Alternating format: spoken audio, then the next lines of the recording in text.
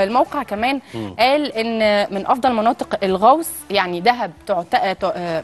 تعتبر من أفضل مناطق الغوص في العالم اللي ممكن السياح يجربوها آه، مقابل 22 يورو بس. أنت عارف طبعا يا فاروق إن 22 يورو آه، مقابل بسيط جدا مقارنة بال- بالمناطق اللي فيها الغو- آه، الغوص طبعا في. العالم.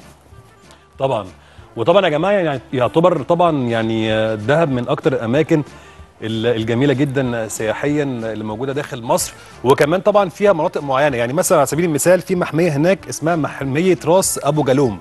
دي من أكتر الأماكن هناك طبعا اللي الناس آه، بتحب تروحها جوه دهب وتعتبر كمان آه، يعني مخيم بدوي آه، وحواليك كده ال- الصحراء الجميلة وكمان من المناطق اللي كل الناس لما بتروح دهب لازم تزورها اللي هي محمية راس أبو الله. جالوم طبعا زي ما أنتم شايفين كده. المنطقة دي منطقة جميلة جدا البحر والصحراء والجبال من كل حتة آه حواليك طبعا أي حد نفسه يروح دهب لازم يروح من, من أوائل. الأماكن طبعا اللي يزورها هي محمية آه راس أبو جالوم كمان المحمية دي مشهورة هناك بأنها من أحلى الأماكن اللي في دهب ودايما بتلاقي سياح من كل الجنسيات فيها. بحرها صافي جدا جدا جدا زي ما إحنا شايفين في الصور والصحراء بتاعتها كمحمية فيها 167 نوع من النباتات الصحراوية والنادرة.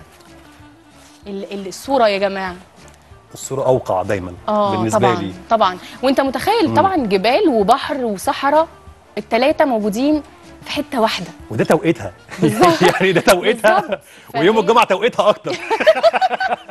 معلش معلش نخلص الحلقة و... يعني آه جميلة ونروح. جدا طبعا. وال والأماكن كمان زي ما رحمة قالت إن هي المحمية دي فيها أكتر من 167 نوع من أنواع النباتات.